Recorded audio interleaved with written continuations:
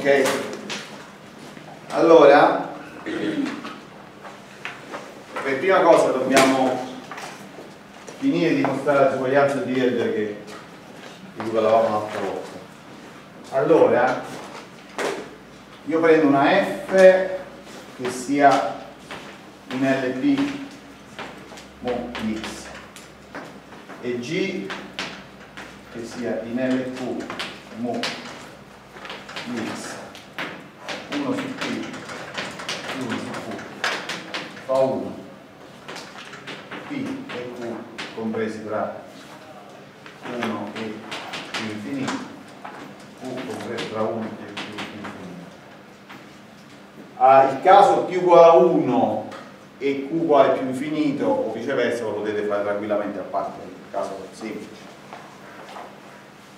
Allora se vi ricordate l'altra volta noi abbiamo dimostrato questa disuguaglianza qui. AB vabbè diciamo che A e B sono due numeri positivi. AB minore uguale 1 su P A alla P più 1 su Q B alla Q. E questo l'avevamo dimostrato tramite Jensen. Allora andiamo a fare l'integrale su x di f su norma fp per q fratto uh, norma q, scusate, per g fratto norma g in LQ dove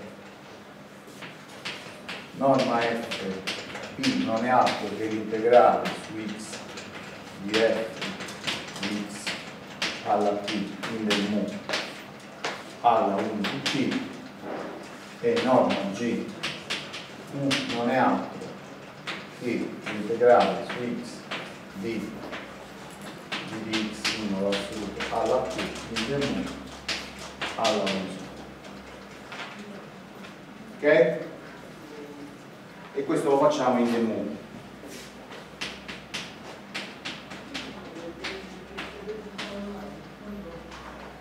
e ci mettiamo un bel valore assoluto.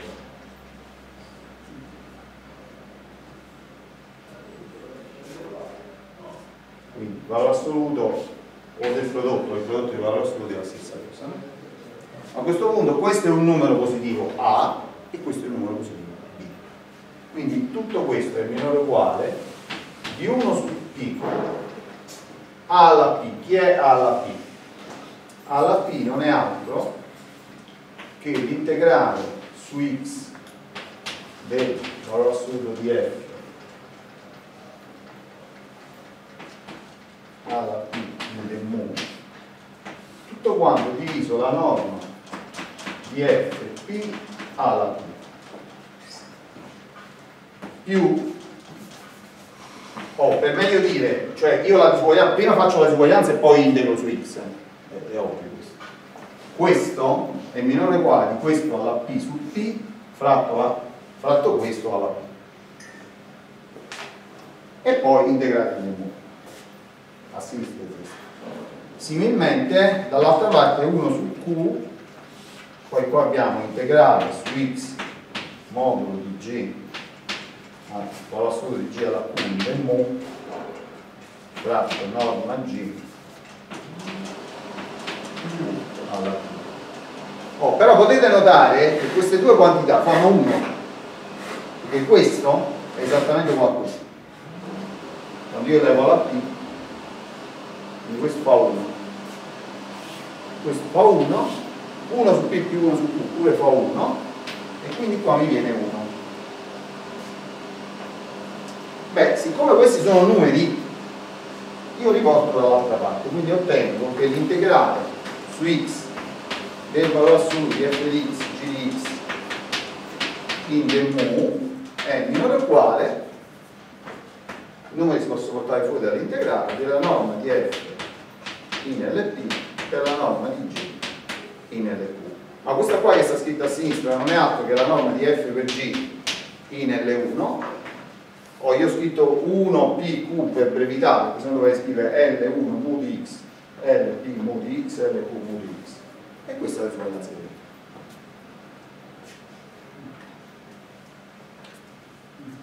quindi era diciamo, il grosso lo avevamo fatto semplicemente non, ci mancava la soluzione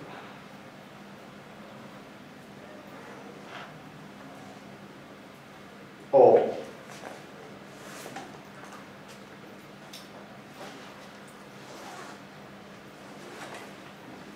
va bene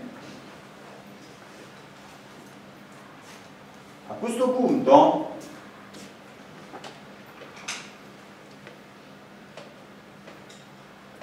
voglio fare ancora un po' di osservazioni prima di passare alla trasformata del Fourier. Allora, facciamo un attimo un riepilogo. Noi che abbiamo visto quest'anno? Abbiamo visto un pochino di teoria delle funzioni di, di una variabile complessa. E poi abbiamo visto diciamo questo chiamiamolo la prosecuzione di quello che abbiamo visto in analisi 2 questo si chiama analisi di dati un pochettino.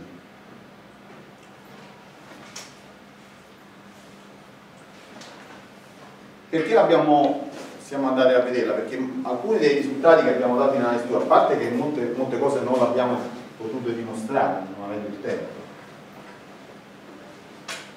Però per prima cosa abbiamo voluto dare alcuni elementi appunto della teoria della misura moderna e in particolare parlare della misura di Delbecq sulla Rn perché a voi serve e dare un'idea abbastanza precisa di come questa teoria non diciamo all'inizio richieda un lavoro un pochettino più eh, diciamo profondo però le misure in particolare la misura di Lebesgue sono numerabilmente additive di Lebesgue ha altre proprietà per esempio il invariante di rotazione il invariante di rotazione uh, ed essendo numerabilmente additive questo per esempio ci ha, fatto, ci ha condotto a dimostrare il teorema di Lebesgue sulla convergenza dominata quello vale per qualunque misura se tu hai una convergenza quasi ovunque eh, diciamo, dominata in modo la funzione L1 puoi passare alla limite adesso sia pure un po' velocemente perché non possiamo rifare tutta questa teoria però andiamo a rivisitare alcune cose alcuni teoremi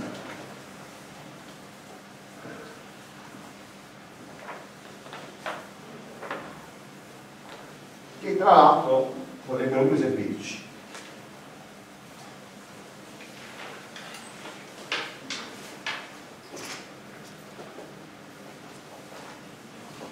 Allora, quello che per primo più ci servirà sono gli integrali dipendenti da un banale.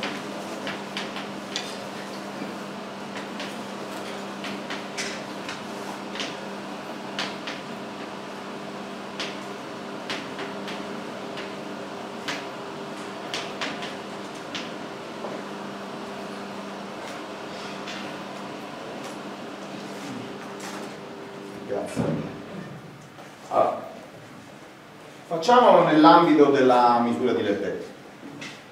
Allora, qual è la situazione? La situazione è che noi abbiamo x, t non sono due variabili, sono due gruppi di variabili.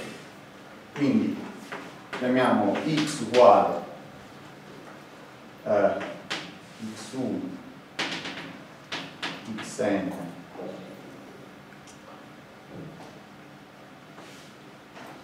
trasposto i vettori si dovrebbero mettere in verticale però è praticamente antinomico con t uguale più 1 di k. Allora, questo sta in Rn e questo sta in Rk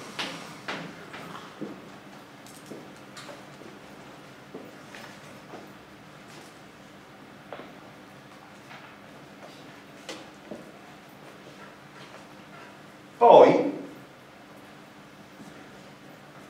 ah, una cosa che non abbiamo detto, supponiamo di avere uno spazio di misura x sigma mu, quindi mi interrompo un attimo, poi prendiamo un insieme E eh, misurabile che cosa si intende quando io scrivo integrale su E di f di x in mu? Questo l'avete tutti, però non l'abbiamo mai detto in maniera esplicita. Che cos'è? Questo non è altro per definizione che l'integrale su tutto x di f per la funzione caratteristica di E. Cioè io metto la funzione di f, la moltiplico per 1 su E, 0 fuori.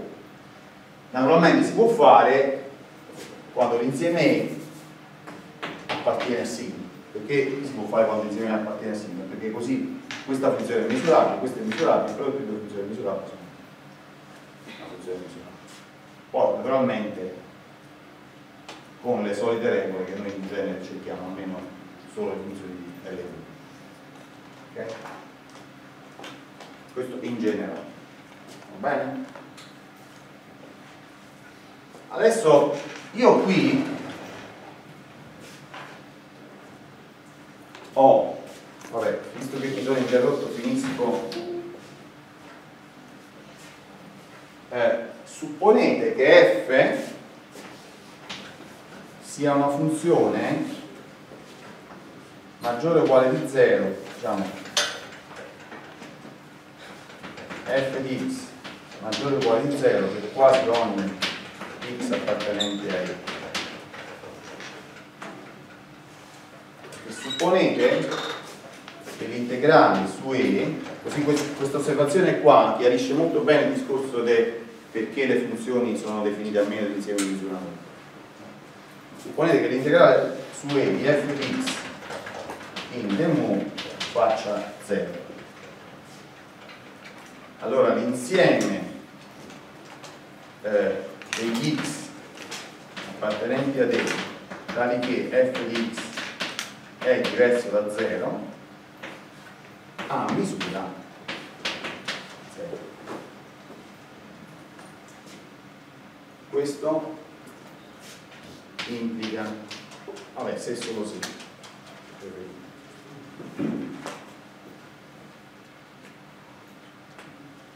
Oh. Però la funzione deve essere positiva. Eh? che ovviamente se prendo la funzione x tra meno 1 e 1 l'integro viene 0 ma mica, mica funzione 0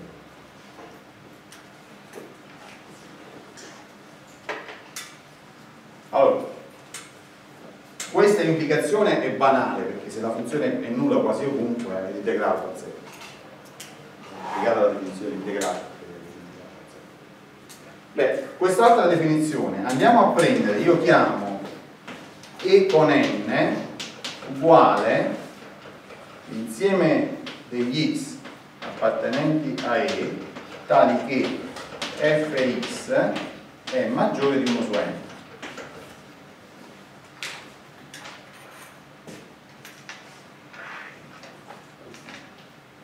Ora è chiaro che la misura di E con n deve fare 0 perché se fosse diversa da 0 l'integrale di f è maggiore della misura di questo insieme per 1 su n ma siccome io so che l'integrale di f fa 0 non è possibile e chi è l'unione degli eponenti? se questo insieme qua lo chiamiamo questo insieme qua lo chiamiamo L L è uguale all'unione per n che va da 1 all'infinito degli eponenti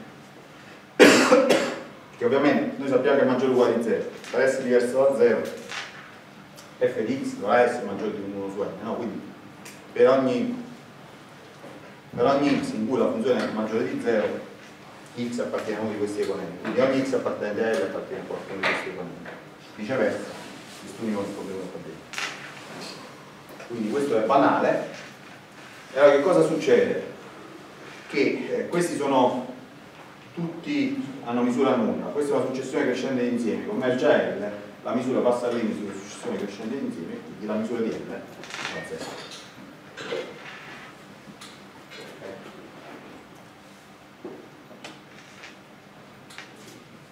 Altro non possiamo dire perché ci possono stare un po' di punti. Il problema è che gli insiemi di misura nulla possono essere abbastanza schifosetti. Quindi ci può stare anche un insieme un po' brutto, per esempio tutti irrazionali. Se stiamo parlando di misura di Lebesgue, irrazionali.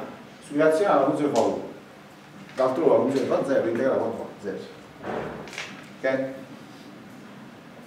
Oh, quindi questa è una osservazione fatta in generale. Torniamo ai nostri impiegati dipendenti ambulanti. Che significa? Io ho due gruppi di variabili, poi ho una funzione f che è definita in x e t. Ok? f di x, t. f di xt ha valori netti. Okay?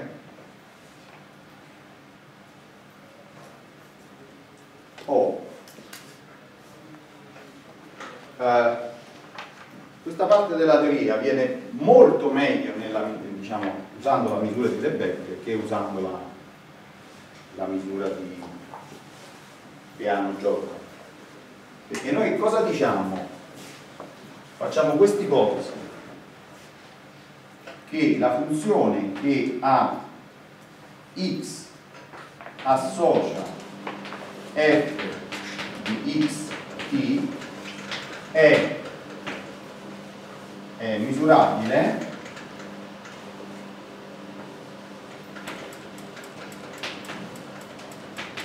rispetto alla misura del, la misura del back si indica con mn o dx in questo caso dx, dx no è misurabile per ogni valore t appartenente ad A. Allora, dove variano x? In realtà questo lo mettiamo in E, E contenuto in Rn, E è un sottoinsieme misurabile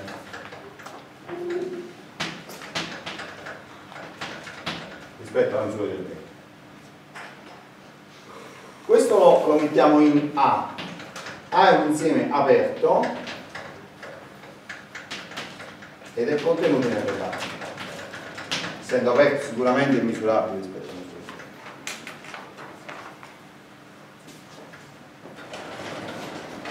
e invece vogliamo per esempio che tf di xt è qua poi a seconda dei casi metteremo le varie ipotesi per esempio continua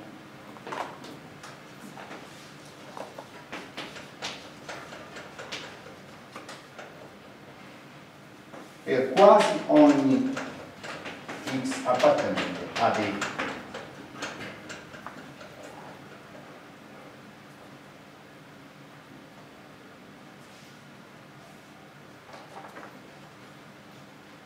Qual è il discorso? Che ci vogliamo fare noi? Poi mettiamo un'ulteriore ipotesi. f di xt è minore o uguale di g di x con integrale su e di g di x in dx finito. Quindi queste sono uniformemente dominate rispetto a t da g. Ok?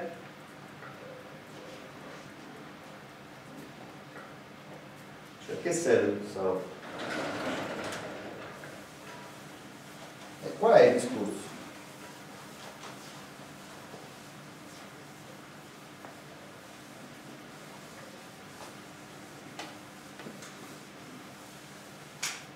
Allora, andiamo a vedere. Noi possiamo fare, vediamo un po', possiamo andare a calcolare questa funzione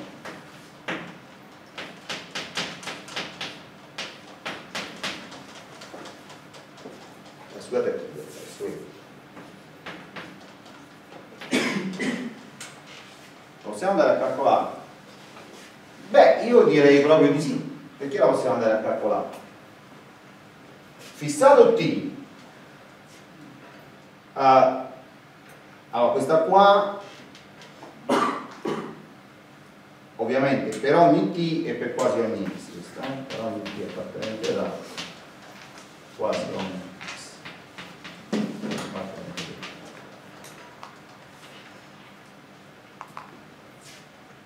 Allora, cosa so di questa funzione qua? La funzione è misurata, c'è scritto nel box.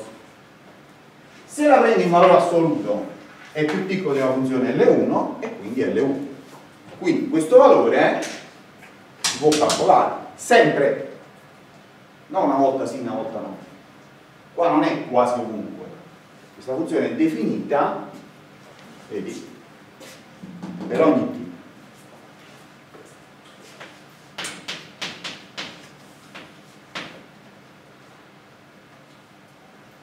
ok allora l'idea qual è? l'idea è che io integro nelle variabili dove posso integrare e quello che mi rimane avrà le stesse ipotesi da cui sono partito cioè quello che voglio sapere è che questa è continua in A.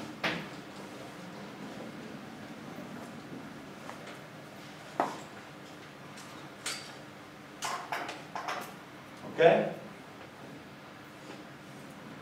Ok. Allora, dimostrare continuo in A è facile.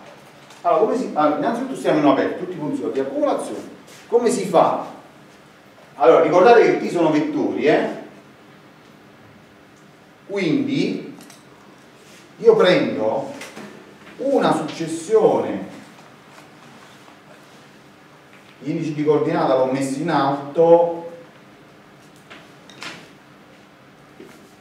eh, gli indici li metto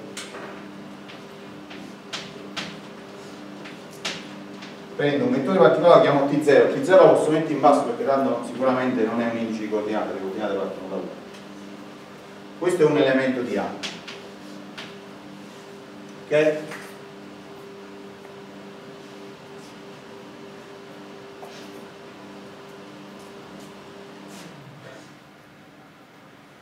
allora io cosa devo dimostrare? che f di t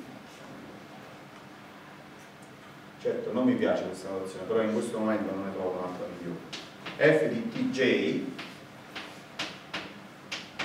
se dimostro che f di tj converge a f di t0 e j che tende all'infinito cosa dimostro? dimostro che la funzione f continua sulle successioni. Però se vi ricordate il teorema Ponte continua sulle successioni vuol dire continua. Ma il limite su tutte le successioni equivale al limite di funzione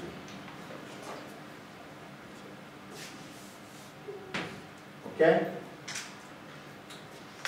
quindi questa è la dimostrazione eh? per meglio dire, non ho ancora dimostrato niente, devo dimostrare che se una successione di t con j converge a t con 0, f di t con j converge a f di t con 0. Ma f di t con j f di t con j è uguale all'integrale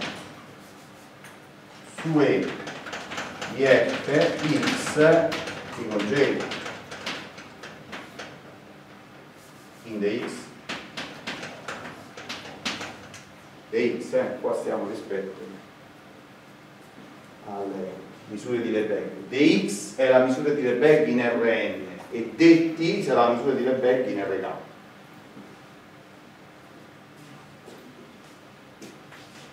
dx poi se do, dovete fare veramente tutti gli integrati non è altro che dx1, dx2 dxn questo poi lo richiamiamo anche questo perché l'integrale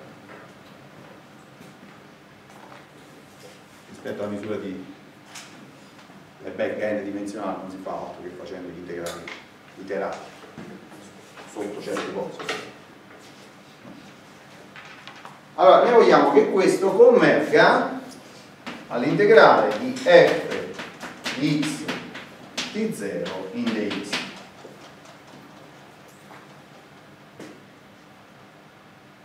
Ma queste funzioni qua non sono altro che delle funzioni che io posso chiamare f con j di x. E questa funzione qua è una funzione che io posso chiamare f di x. Cosa posso dire? T con j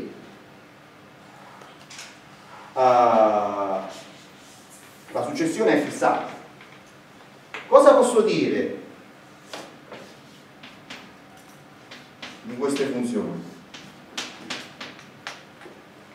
beh, io so che la f piccola è continua quindi questa qui converge a questa dappertutto? no per quasi ogni x appartenente a te ma poi posso anche dire che φ con j di x in valore assoluto è sempre più piccola di g di x. Questo era vero sempre, no? se qua ci metto φ con j quindi posso concludere che quando j tende a più infinito questo tende a questo?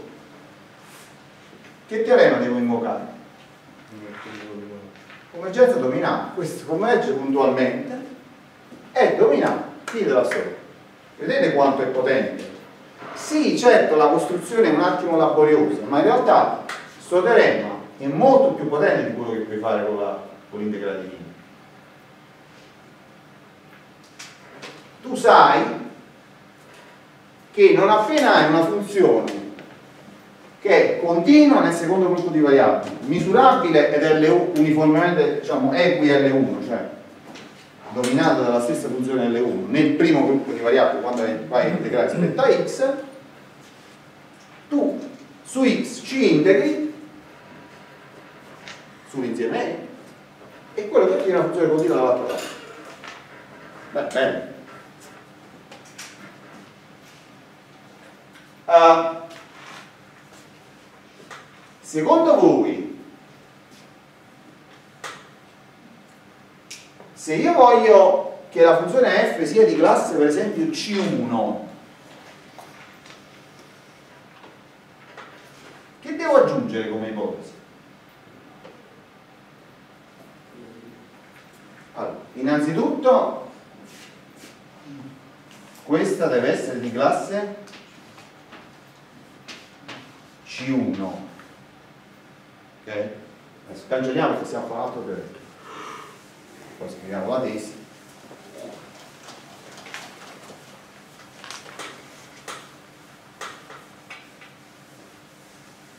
Questo deve essere classe C1 perché se no non posso derivare cioè, qual è, qual è?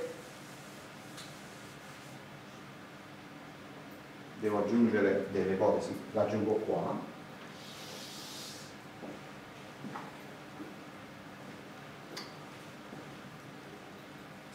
Uh, e che altre cose dovrò aggiungere secondo voi?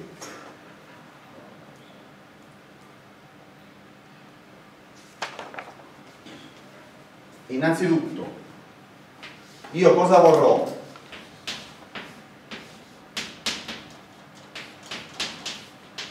Come si farà, secondo voi, la derivata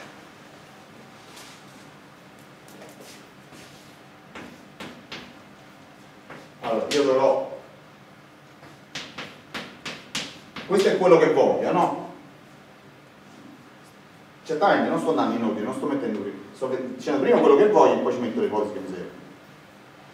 Ma secondo voi come si farà la derivata rispetto questo è un gruppo di variabili non una funzione di più variabili. Per essere C1 bisogna per il canale differenziale totale sicuramente è sufficiente che la funzione sia derivabile parzialmente rispetto a ogni tipo H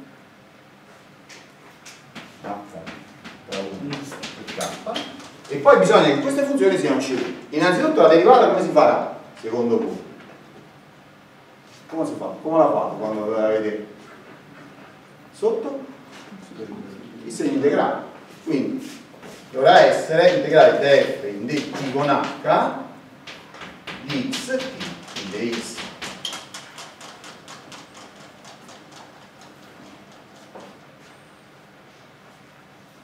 oh ma allora secondo voi le derivate le posso fare? Perché abbiamo detto che questa funzione è di classe C1 ma per poter dire che queste derivate a loro volta sono continue cioè per poter calcolare le derivate per poter poi dire che queste derivate sono continue quindi magari alternative ma secondo voi che ci vuole?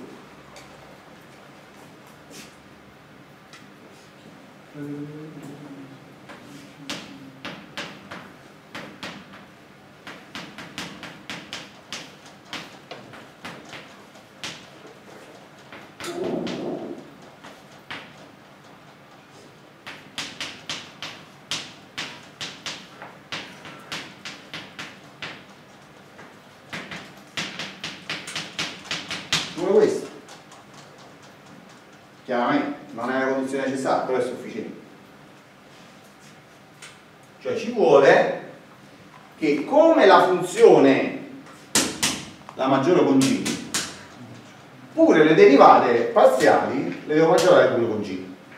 Dici ma non ci posso mettere altre funzioni? È uguale, perché tanto siccome siamo un numero finito di funzioni, se invece di fare G fai G e poi c'è altre funzioni G1, G2, G prendi il massimo di queste funzioni e la chiami G, cioè non è che non è restrittivo supporre che la maggiorante sia la stessa. Però l'importante è l'uniformità, cioè quindi per ogni H uguale a 1 K che va da 1 a K, cioè, potrei pure rimuovere questa ipotesi, prendere una G diversa per ogni A. Quello che però è importante è che la G sia la stessa per ogni, per ogni T. Capite?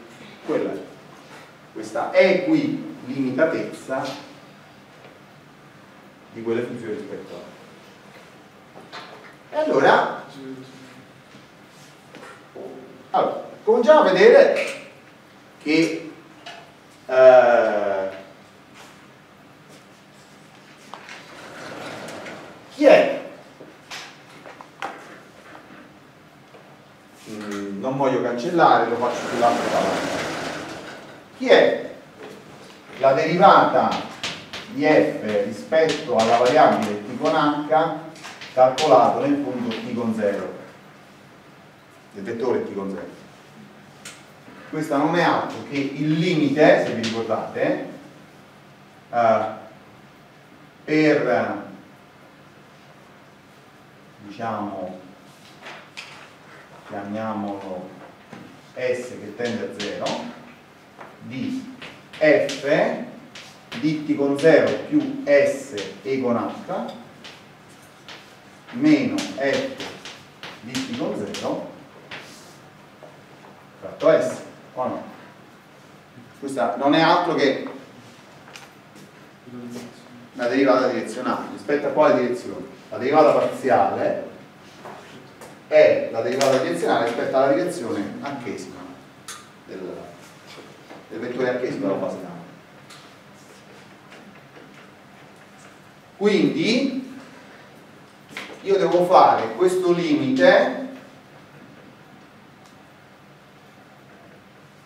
a, per S che tende a 0 di che cosa? integrato su E di f di x t con 0 più s e con h meno f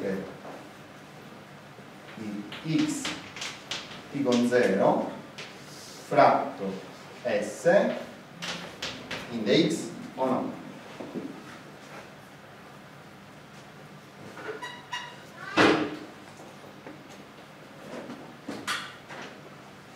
Allora, qua bisogna sempre fare il solito discorso. Io prendo una qualunque successione Sj, allora noi usiamo la H per le variabili e la J per gli indici di successione, così non ci confondiamo. No? Prendiamo una Sj che tende a 0. Allora qua ci metto Sj, qua ci metto J che tende a infinito, J che tende a infinito, qui ci metto Sj e qui ci metto Sj. ok?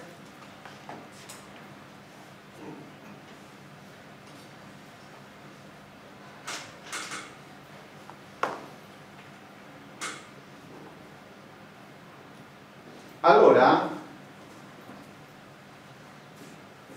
queste qua sono di nuovo delle funzioni φ con j di x. E t con 0 è fissato, j quando j è fissato è fissato queste sono le funzioni con j di x. Ma questa funzione qua beh se vi ricordate a chi è uguale? Allora sono delle funzioni misurabili. Certo sono funzioni misurabili. Questo è misurabile questo è misurabile. Diviso sj che è una costante misurabile. Quindi a me non devo provare nulla per quanto riguarda l'integrabilità, devo provare però che l'integrale si può fare infinito. Ma questa qua, punto per punto, nel, gruppo, nel secondo gruppo di variabili, a chi è uguale? Non è uguale esattamente alla derivata parziale di f rispetto a con h calcolato in x con, eh, no, t con, t con 0 più xi e con a. Dove xi in valore assoluto è minore di sg dove xi sì, dove xi in valore assoluto è minore del valore assoluto di sg cioè xi è compreso tra 0 e sg o tra sg e 0 sg ne so se è positivo o negativo. Sta andando a 0 però in uno intermedio no, io applico la Lagrange quindi la differenza, io mi sto spostando in dati con 0 secondo una certa direzione di Sj, la differenza del valore della funzione qua meno il valore della funzione qua è uguale all'incremento, che poi se ne va con l'incremento sotto, per il valore della derivata parziale in un punto determinato. Okay? Ma questa e quindi cosa posso dire? Posso dire che Fj, la dipendenza da J dove sta? Sta nascosta qua dentro, eh? perché X dipende da Sj. Fj di x in valore assoluto, posso dire che è minore o uguale di g di x? E certo, perché questa derivata, qualunque sia il punto dove viene calcolata, è minore di g di x. Ora, che cosa a chi converge questo quando J tende a più infinito? Beh, le derivate parziali, quando J tende a più infinito e se J tende a 0, anche X tende a 0. E allora, siccome so che le derivate parziali sono continue rispetto alla seconda variabile, questo mi converge all'integrale, scusate, mi converge, Fj mi converge alla derivata parziale di f rispetto a t con h calcolato in x t con 0 e gli integrali a chi convergono? teorema della convergenza dominata queste convergono a queste puntualmente sono tutte dominate dalla stessa funzione converge all'integrale su e dx e quindi cosa ho dimostrato? questo era uguale alla derivata parziale di f rispetto a t calcolato in t con 0 Quindi ho dimostrato la formula per la derivazione eh, rispetto a t con a. No, sbagliato a t sì. Ok? Ho dimostrato la formula per le derivazioni parziali della f. Ma una volta che ho dimostrato la formula per le derivazioni parziali della f, io cosa so? Che queste derivate parziali sono uguali all'integrale di queste derivate parziali. Ma queste derivate parziali sono funzioni continue sono tutte maggiorate dalla G invoco il teorema di prima, pure queste sono funzioni, cioè sono continue rispetto alla t e la x no. Però poi ci integro sopra nella x e quello che rimane per il teorema di prima è una funzione continua. Quindi queste sono tutte funzioni continue. Quindi f, quindi questa è c0 di a, vabbè, questo è un numero, df finché ph calcolato in t è una funzione c0 di a e quindi f è di s c di a. Fine della trasmissione.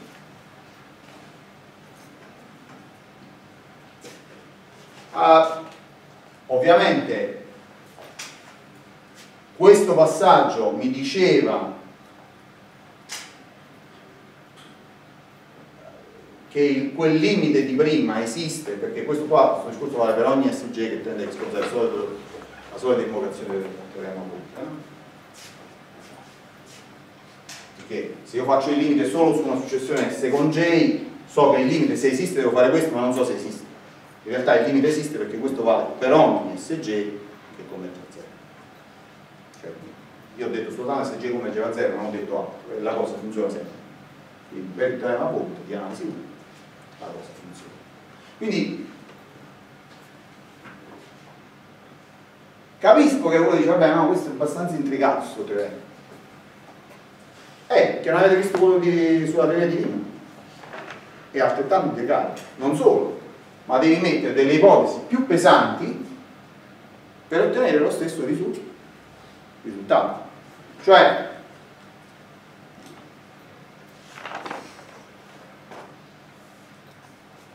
vero, con la teoria di Lebesgue c'hai delle problematiche relative al fatto che devi garantire certe cose, per esempio al minimo la misurabilità, perché se no puoi fare integrale, devi garantire so, l'equilibratezza per se vuoi applicare il terreno della convergenza dominata, queste robe qua. E poi te la devi cavare e fare dei ragionamenti, devi dimostrare che in certi casi eh, devi avere a che fare con eh, serie, unioni numerabili e quant'altro. Ma se tu vuoi fare le cose secondo Riemann, te la cavi molto peggio, perché non hai l'additività numerabile misura. Non puoi passare così al limite come facciamo qua grazie a ottenere la convergenza dominata. E il passaggio al limite su integrale o c'è la convergenza uniforme o ti devi arrangiare caso per caso. Quindi le ipotesi che devi andare a mettere per ottenere il stesso tipo di risultato sono molto ma molto più pesanti. Qua invece abbiamo stabilito due risultati fondamentali cioè praticamente cosa stiamo dicendo? Stiamo dicendo punto da ritenere di tutta questa situazione qual è? è noi abbiamo una funzione f piccolo che ha due gruppi di variabili in uno è misurabile per ogni, per quasi ogni per ogni t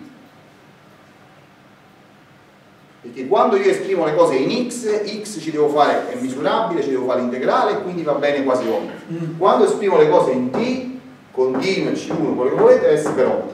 Quindi questa è misurabile in x per ogni t. Dall'altra parte è continua in t. Per quali x? Anche per quasi ogni.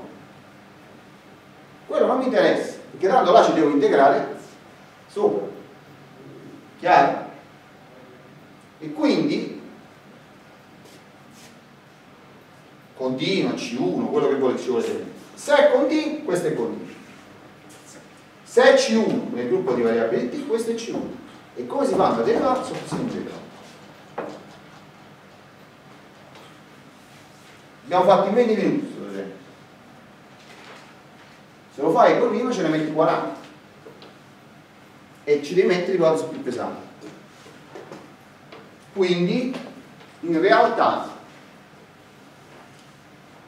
la misura di Lebesgue è un ottimo investimento. Dove si usava questo teorema?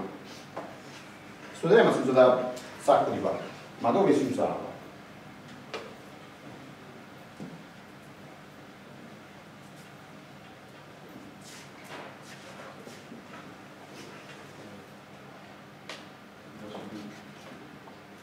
Dove? Gaswini.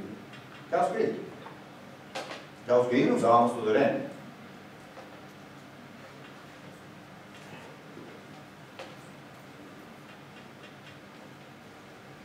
E quindi, ma per esempio, vediamo che risulta.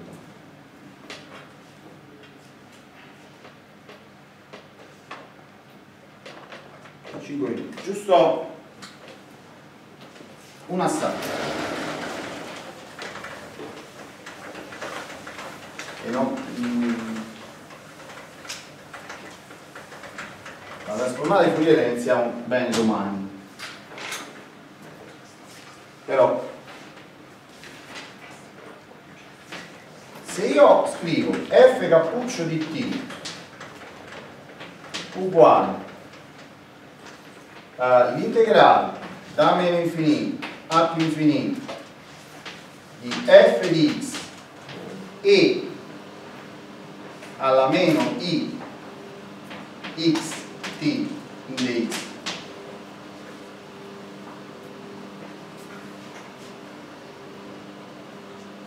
allora vediamo un po' innanzitutto cominciamo a vedere quando si può fare integrare almeno con partenza. Poi vedremo che questa cosa la trasformata la possiamo definire in situazioni molto più generali, ma dovremmo fare dei, degli slalom. Un caso in cui sicuramente questo si può dire, questo che cos'è? Non è l'integrale di una funzione che dipende da due variabili, adesso è integrante di x. Questa qua, se questa invece di f la chiami h, e questa la chiami f di xt, non è una funzione di due variabili. Allora, questa funzione, se la voglio maggiorare, allora, uno per prima cosa dice, ma questa i, questo è un integrale di variabili complesse? No, no, no, questo è un integrale di variabile, scusate, fra dx. Giustamente, stiamo integrando in x e in dx. Uh, quando io integro la, questa variabile è complessa? No, è reale. x e t stanno in R.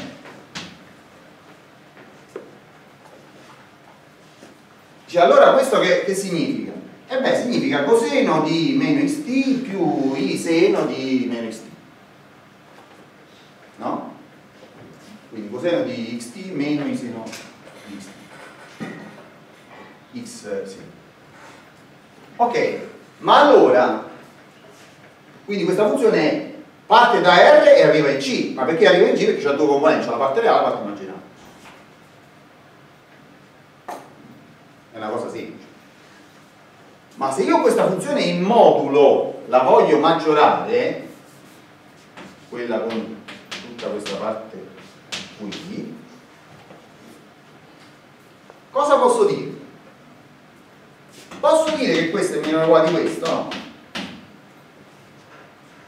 Perché il modulo di questo per modulo di questo, il modulo di questo fa 1, perché? Perché l'esponenziale è un numero immaginario puro, no? E quindi cosa posso dire di questa funzione? Cosa posso dire di questa funzione? Eh?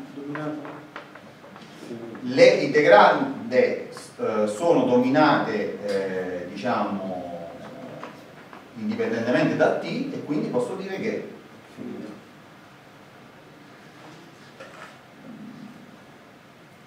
quando è finita?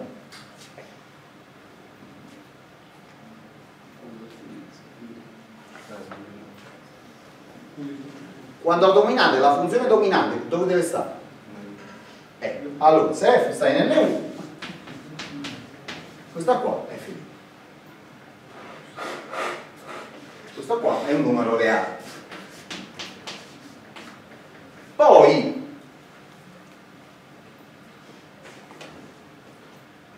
cosa posso dire?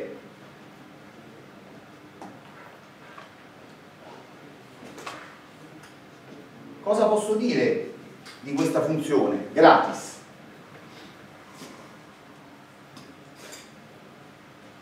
Che posso dire di questa funzione?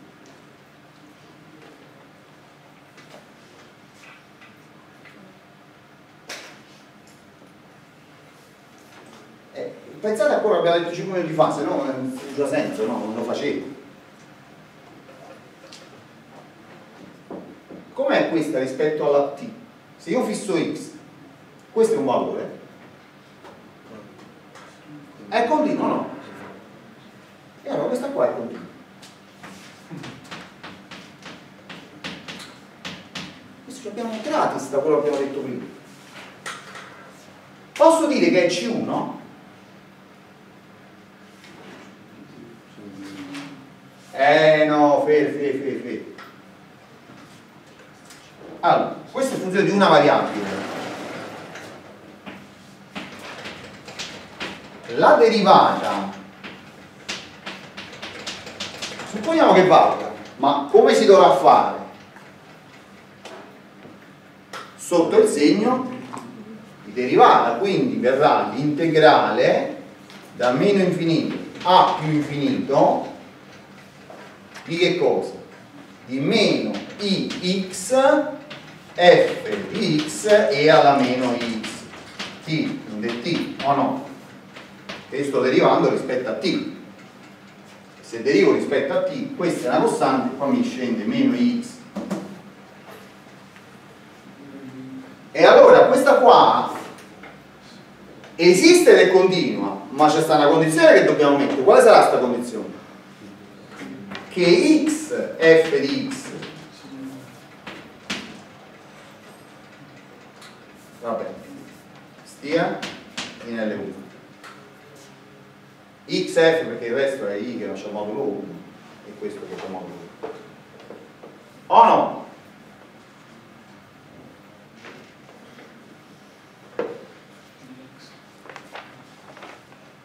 perché se questa qua sta in L1 il suo modulo mi fa da maggiorante per questi e allora queste esistono, sono continue e sono derivate di queste che deriva da quello che abbiamo detto 5 minuti fa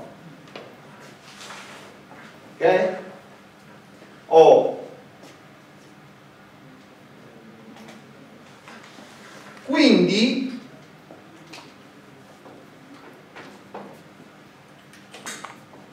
Qua non stiamo ancora parlando di trasformati, stiamo vedendo soltanto alcune cose in, per collegarle a quello che abbiamo detto. Sì, la definizione è quella, però.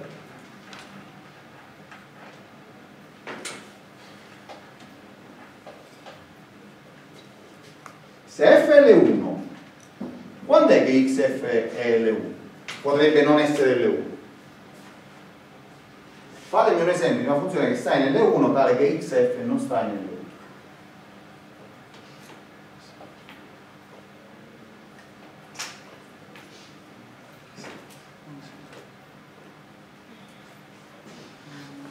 Allora, prendete la funzione 1 fratto 1 più x quadro. Sta in L1. L'integrale, quando fa l'integrale di 1 fratto 1 più x quadro? Da infinito a infinito fa y. Ok? Se però la moltiplico per x, mi diventa la funzione x fratto 1 più x quadro. Uno può dire, no, questa funzione è dispari, l'integrale fa 0, eh, ferma un attimo. Facciamo l'integrale da 0 a infinito. Chi è la primitiva di x fratto 1 più x quadro? Un mezzo per il logaritmo di 1 più x quadro. Vediamo se io prendo qua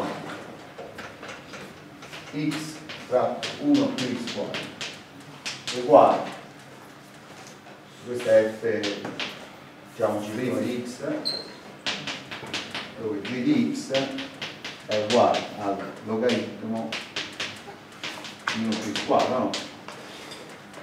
1 fratto 1 più x quadro per 2x, 2 si semplifica. Quindi l'integrale da 0 a più infinito di x fratto 1 più x quadro. Quanto fa? Direi che diverge, no? La primitiva è quel logaritmo, il 0 vale 0, infinito vale infinito. Ah, quindi quella là non è L1 perché l'integrale della parte positiva da 0 a infinito fa più infinito, l'integrale della parte negativa fa meno infinito, cioè fa più infinito pure lui, meno la parte negativa, meno infinito. E quindi la funzione 1 fratto 1 più x quadro, lei ci sta in L1, ma quando la moltiplico per x non ci sta in L1. Perché non ci sta in L1? Perché praticamente 1 fratto 1 più x quadro, il problema è infinito, non scendeva abbastanza veloce, velocemente. Quando velocemente scende? Come 1 su x quadro. Quando moltiplico per x scende velocemente come 1 su x, non sta più in L1. Ok?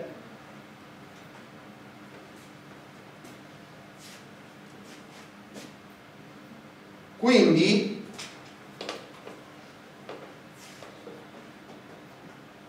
la derivabilità di, della trasformata e la classe di continuità di derivabilità della, trasformata da chi dipende? Da quanto velocemente la f scende all'infinito perché qua per esempio se siamo tra meno 10 e 10 e qua o ci metto x o ci metto 10 è la stessa cosa no? cioè xf, se x è compreso tra meno 10 e 10, li posso maggiorare tra meno a e m, la posso maggiorare con mf, sì, f sta nelle1, sì, mf sta nelle1, sì, quindi in ogni intervallo finito non me ne frega niente della x, la x mi interessa quando, va, quando andiamo verso infinito, infinito, là può fare danni la moltiplicazione per x. Siete d'accordo? Ok. Allora, praticamente la regolarità della trasformata dipende da quanto velocemente la f andava a 0 all'infinito. Se andava come 1 su x quadro era solo continuo, se andava come 1 su x cubo è c1, se andava come 1 su x alla quarta è c2 e così via. Perché? Perché quando, se ripeto questo ragionamento ogni volta che faccio la derivata qua mi esce una, una x in più, o no? vabbè uscirà meno x ogni volta però non succede niente le altre sono costanti in modo lungo la cosa importante è che esce da x va bene? quindi se la f di x fosse per esempio e alla meno x quadro oppure e alla meno valore assoluto di x. Oppure se la f di x fosse la funzione caratteristica dell'intervallo meno 1, 1 cosa posso dire della trasformata di qui? e è c infinito. Cioè che questa sia irregolare esempio questa qua è una funzione a scalina non un dito gli fa qualcosa, non gli fa nulla non gli fa un baffo perché questa è continua. Quello che mi interessa qua è la derivabilità rispetto a t. Questa qua, per avere la derivabilità rispetto a t, ciò che questa, x per questa, x quadro per questa, per avere tutte le derivabilità, devono stare tutti nelle 1. Ma io, questa è minore o uguale di 1. x, x quadro, x cubo per questo, tra meno 1 e 1 è sempre minore o uguale di 1. E quindi sono tutte addirittura maggiorate dalla funzione 1 e quindi quella è di classe C quindi vedete come quando io vado a fare questo qua si chiama nucleo, un nucleo integrale tu c'hai f di x poi c'è una funzione h di xt integri in x e ti esce pure la funzione t. Queste diciamo, tutte le trasformate hanno questo tipo di comportamento. Cioè un nucleo integrale che dalla funzione in x va a finire una Ovviamente ci vuole che l'integrale si possa fare. ciò è bello è ottimo perché ti dà delle condizioni minimali cioè, cioè sono sempre sufficienti quindi non necessari però tu sai che se questo sta nelle 1 questo può fare se tu sai che questa sta in L1 ed è nulla fuori di un intervallo quella è C infinito. Oppure se fosse anche non nulla fuori di un intervallo ma per esempio andasse a, 0 esponenzialmente tipo è la mini quadro tu quando è la mini quadro la moltiplichi per x stai nelle1 certo. Quando la moltiplichi per x quadro stai nelle1 certo. Quando la moltiplichi per x cubo stai nelle1 certo.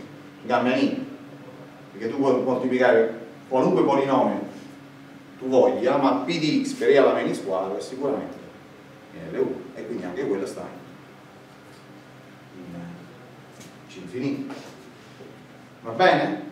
ok adesso facciamo una piccola pausa